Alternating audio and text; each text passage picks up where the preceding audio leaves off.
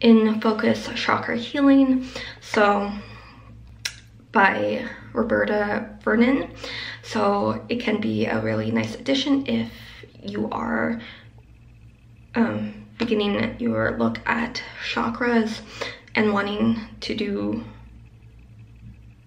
having a focus on the chakras and having the healing aspect can really be helpful um, if you are interested in that type of thing. So it's divided up into two parts.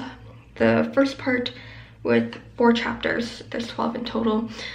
Um, you're getting a bit of an introduction to the chakras themselves, but part two, um, where the most chapters are, is about the chakra healing aspect. That's why it's chakra healing book. So your chakras don't get own divided chapter. So, but there are other books out there about the chakras. So once you've kind of learned about the chakras like themselves, the major chakras, and then there's apparently, and then there's like the whole other kind of chakras as well. So you are getting um, a little bit of an introduction to the chakras, but it's not it's kind of like brief kind of keywords and position of it.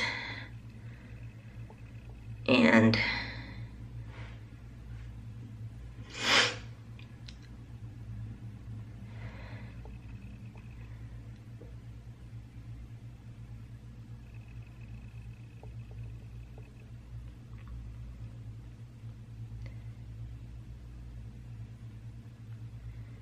closing the chakras and then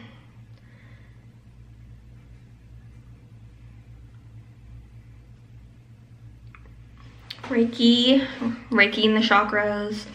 So it does talk a bit of the major and minor chakras. So crystal healing for it. Um, so it introduces you to like what um, crystals could be used so like clear quartz rose quartz amethyst blue lace agate and then like it has a list of like the chakra and what crystals would be used for them. Um, fruits and vegetables for the chakras colors um, essential oils as well so, and then it goes into healing emotional pain through chakras, so potential problems and simple healing methods.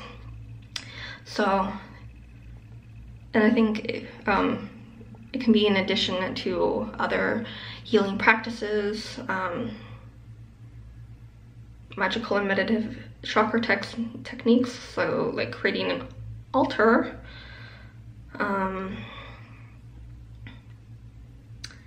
meditation with candle power, other forms of magic and meditation, healing with animals. So it's best to consult the right kind of vet to diagnose and treat a sick animal, but chakra healing can give an extra boost that will help the creature's body to heal itself, which is a good point. So